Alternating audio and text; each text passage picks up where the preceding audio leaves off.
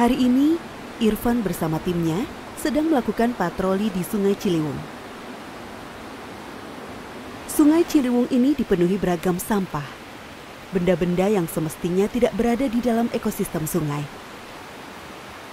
Sampah selalu menyisakan masalah, bahkan musibah. pada saat banjir di Jakarta Ciliwung Bogor yang tersorot gitu. Tetapi pada saat saya turun menjadi satgas melihat fakta di lapangan seperti apa itu kaget.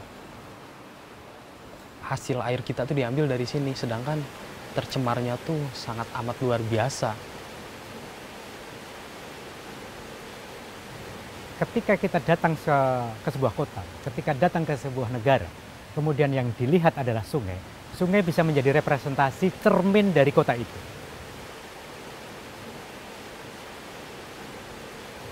Saya merasa seperti ditampar gitu, bahwa ada sebuah uh, penistaan terhadap sungai. Nah, penistaan terhadap sungai dengan membuang sampah, kemudian mengalirkan limbah rumah tangga, limbah industri skala kecil maupun besar ini yang harus kita bangun semangatnya supaya kemudian melakukan perubahan. Bagaimana cara merubahnya?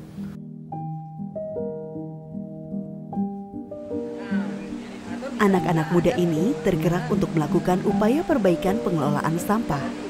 Mereka menamainya dengan Komunitas Peduli Ciliwung yang berdiri 13 tahun silam.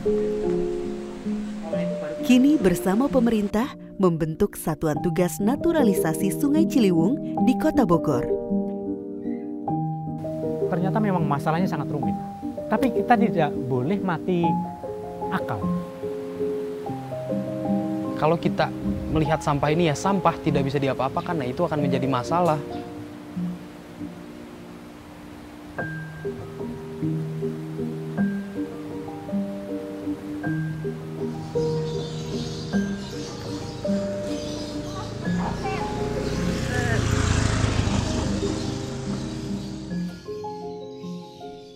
Di setiap harinya, Irfan berkegiatan di TPS sementara di Komplek Perumahan Sukadamai.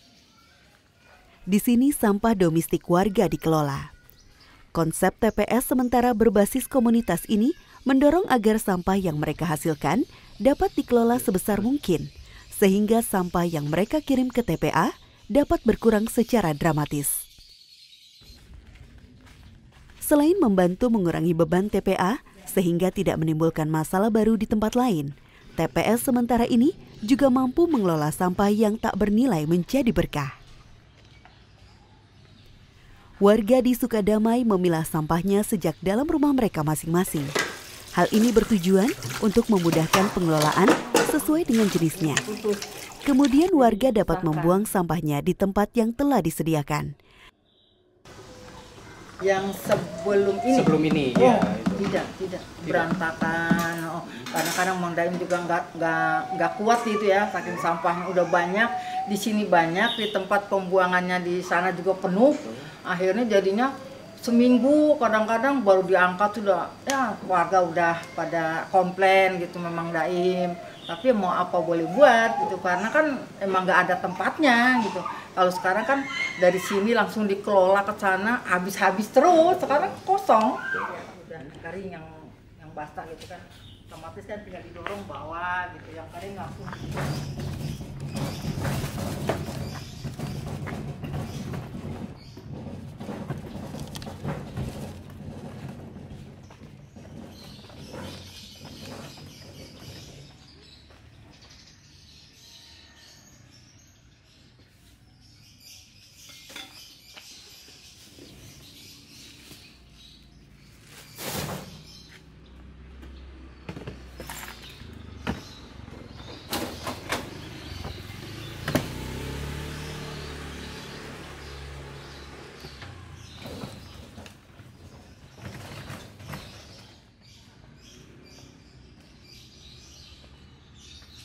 setelah terpilah organiknya kita berikan ke magot yang nilai ekonomisnya kita simpan nah itu satu hari hanya dua karung sampah residu seperti styrofoam popok dan multi layer itu yang tidak emang bisa terolah oleh kita karena kita tidak mempunyai teknologi uh, untuk mengolah sampah tersebut. Makanya kita uh, buang ke Galuga. Kita menyimpan 10 titik tempat sampah stasiun untuk sampah organik. Nah, untuk hanya sampah organik saja. Nah, sampah organik ini akan diambil, dikolekting dari tiap-tiap tempat sampahnya. Nah, lalu dibawa ke TPS ini, selanjutnya akan dipilah mana yang bisa untuk diberikan untuk pakan maggot dan mana yang bisa untuk dibuat komposter yang bisa diolah oleh maggot kita berikan ke maggot hari itu juga.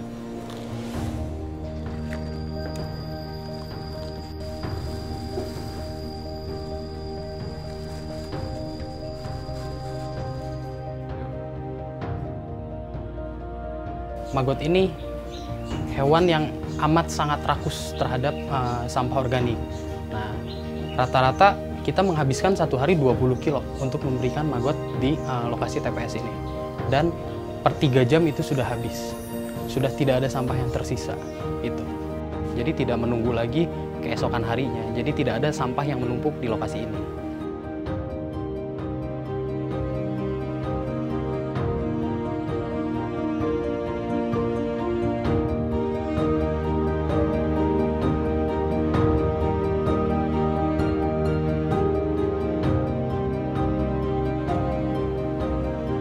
Maggot yang tinggi protein ini dapat dipanen dan menjadi bahan pakan bagi ternak ayam dan ikan. Setelah masuk masa panen di umur 12 hari maggotnya, nah kita ambil maggot ini, kita bersihkan, lalu kita sangrai. Nah, disangrai maggotnya untuk apa? Untuk jadi pakan alternatif dari unggas seperti ayam petelur. Kita di sini punya ayam petelur dan uh, untuk pakan ikan juga. Kita punya kolam juga di sini. 30% dari total pakannya kita berikan maggot kering untuk ayam tersebut.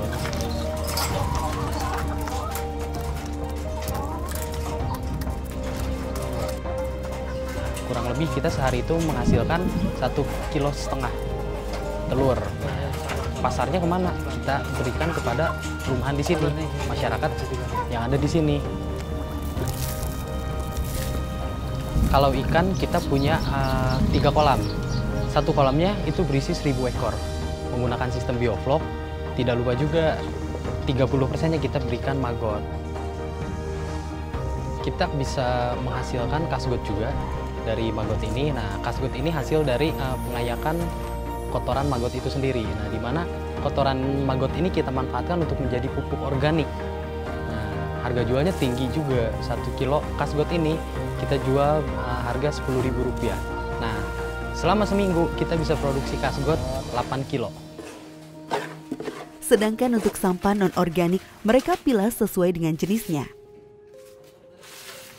Ini adalah uh, proses pemilahan sampah dari masyarakat, uh, dipilah kembali untuk diambil nilai ekonomisnya, seperti botol-botol dan tempat mika.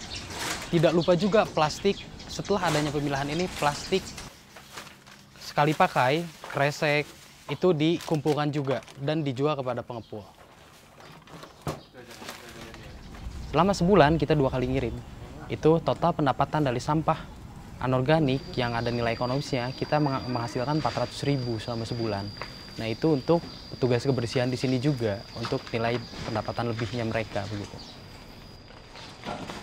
Dengan seperti itu kita sudah bisa mengklaim pengurangan sampah di sini udah diangkat 70 persen.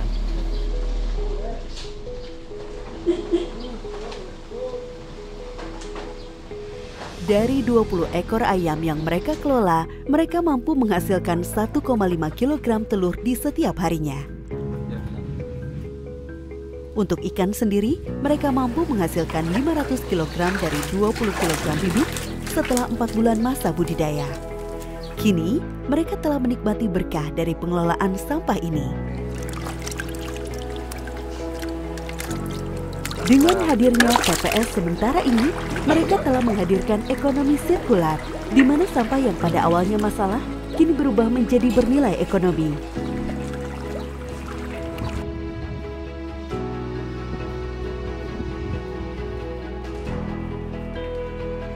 Secara perlahan, pengelolaan sampah berbasis komunitas ini telah diterapkan di 50 RT prioritas yang berada di sepanjang bantaran Sungai Ciliwung. Kini, sungai tidak lagi menjadi tempat pembuangan sampah bagi warga. Bahkan mereka menerima manfaat lebih dari pengelolaan sampah ini.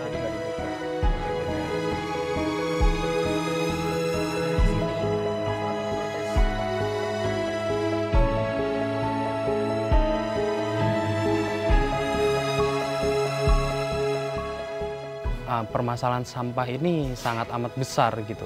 Tidak hanya di sungai, nah tetapi di perumahan pun masalah sampah ini harus dikendalikan. Nah, target kita ke depannya di tahun ini kita dapat mengurangi sampah plastik yang ada di liar, yang maksudnya liar itu yang ada di uh, tempat sampah, di sungai atau di masyarakat itu 1.200 ton selama satu tahun ini ke depan. Bukan saja melakukan edukasi supaya warga mengurangi penggunaan, bukan saja kemudian kita berpikir teknologi apa untuk menghilangkan sampah, tapi sampah harus menjadi berkah, harus berputar itu semua, sehingga ekonomi kita tumbuh, warga sejahtera, tapi tidak mengorbankan masa depan, tetapi tidak menimbulkan polusi, tidak menimbulkan erosi, tidak menimbulkan bencana dan lain-lain. Itulah ekonomi hijau. Bismillahirrahmanirrahim. Ekonomi hijau inilah yang kota Bogor ingin paling depan dibanding kota-kota lain.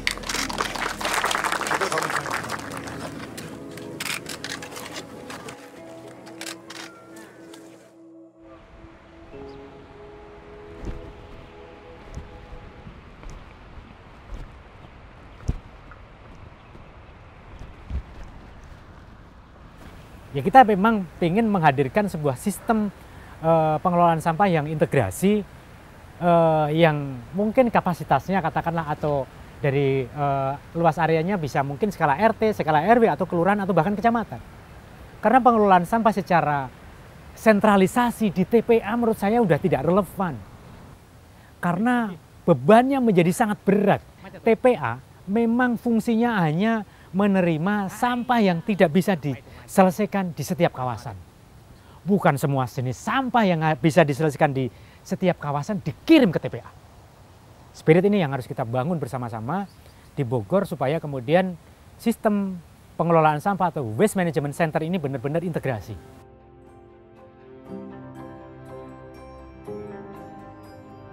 Ketika ada teknologi, berarti kan teknologi itu dihadirkan di satu kawasan untuk kemudian menjawab masalah. Tapi memang teknologi ini juga tidak akan berfungsi secara optimal, tidak akan berarti apa-apa ketika secara habit, secara kebiasaan, secara kultur masyarakatnya juga masih ngawur. Bagaimana kita cara bermobilitas, bagaimana cara kita berkonsumsi, bagaimana cara kita berpakaian, bagaimana cara kita bertempat tinggal, bagaimana cara kita bekerja. Kita sumber dayanya sangat bersama.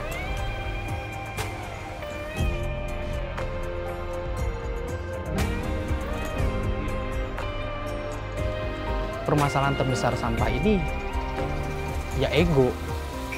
Tidak mau orang mengambil uh, di mana saya harus bertindak. Habitnya udah berbeda. Mereka dengan bayar iuran 20 ribu sebulan, saya nggak mau tahu sampah itu harus beres dari rumah saya. Tapi kita neken orang lain untuk membawa masalah kita.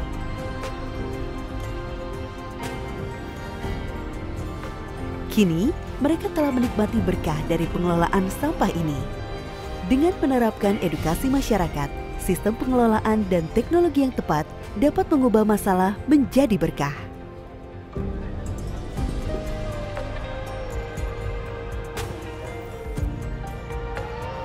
Kalau kita melihat sampah ini ya sampah tidak bisa diapa-apakan, nah itu akan menjadi masalah.